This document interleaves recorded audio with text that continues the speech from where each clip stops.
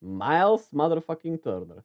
Obviously, no uh, Damian Lillard, no Giannis, so it's really hard uh, to really be excited about this series overall. But I'm really happy for Indiana. So uh, Indy takes the 3 1 lead. Myles Turner dominates. They keep pushing the pace. They've shot the lights out from the three point line. And I think, you know, some of it is just how fast they play and the Bucks not being able to keep up with them.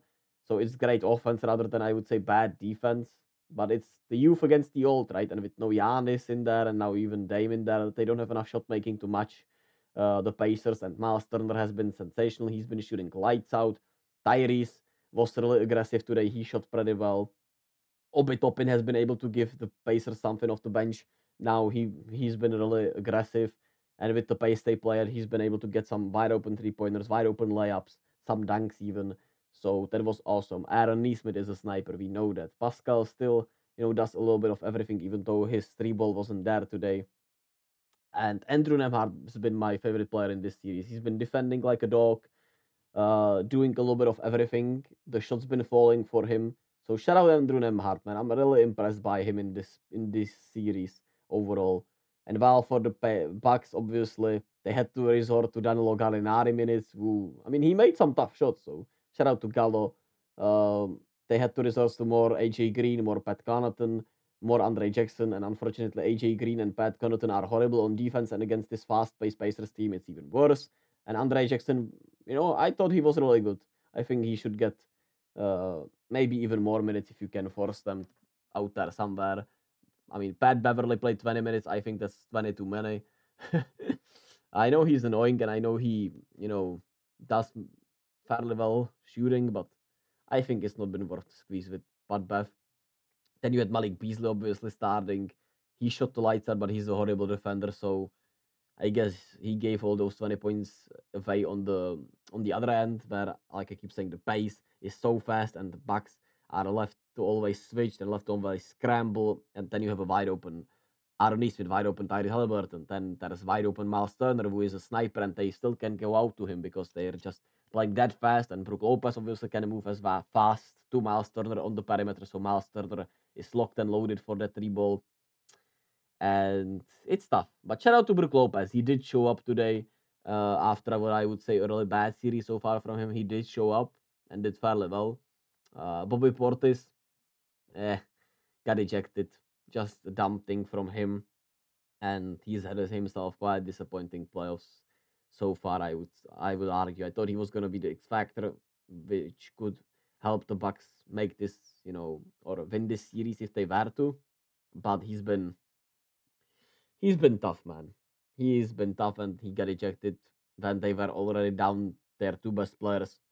Just dumb, just dumb.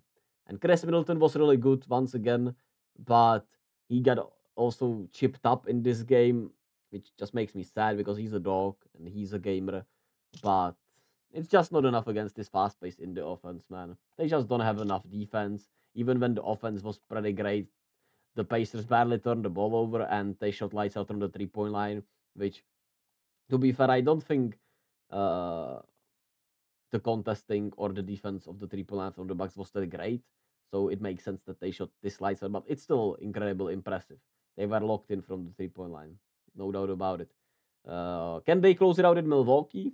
Uh, there is a chance that Dame and Giannis play, but we'll have to wait and see about that. And I mean, it would be obviously good for the Pacers if they could end this in five. But if Giannis and Dame plays, you expect the Bucks to at least make this, uh, you know, make make the Pacers close it out in at home. Even though we don't know, I don't know how Dame healthy can really be with that Achilles injury and how healthy Giannis can really be with his uh calf or Achilles injury. So I don't know, man. Uh, I think it would be you know best for the Bucks to just kind of uh, let it play out how it is. And I mean, if your other guys besides Damon and Giannis could somehow make a comeback, you'll be happy. If not, everything went you know against you this season in a way in terms of injuries. Even though there were some problems with Dame and Giannis together before that, Dame obviously has had just a tough, tough, uh, tough year off the field. Which what can you do, man? That's life.